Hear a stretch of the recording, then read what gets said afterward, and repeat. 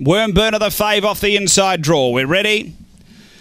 And away. Wormburner out with them. Speed from Crisis Bale going quickly. Gun McBain, but Crisis Bale's going to lead. Crisis Bale leads from Gun McBain a length and a half away. A couple away next is Relton, who's close. Uh, then came Fusaji Khan. A big gap away. Wormburner, Sunday Shoes, Liam's Entity, and Ring the Bell. But the leader is Crisis Bale out by two to Gun McBain. Uh, Relton next and Fusaji Khan on the turn. Crisis Bale the leader from Gun McBain and Relton. Gun McBain went home too well. Gun McBain beats Crisis Bale Relton, and then came Fusaji Khan. Wormburner got home when it was all done.